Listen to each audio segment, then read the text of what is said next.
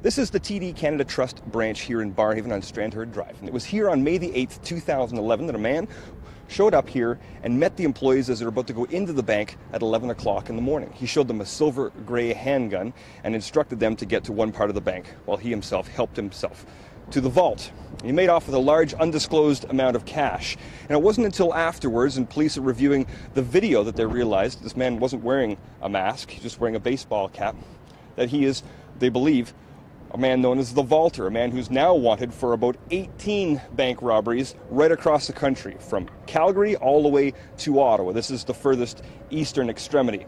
So today they've increased the reward for this man's capture from $20,000 to $50,000. Now, he's known as the vaulter not because he helps himself to vaults like he did here in Barrhaven. This is the only bank that he's done in this area. But he's known it because he vaults himself over the counter where the tellers are and helps himself to the money. At least he did that early on in his run. He would vault over, and that's how he got the name. He's a very fit man. He was initially in his late 40s, believed to be early 50s when he started doing this, in very, very good shape with salt and pepper hair.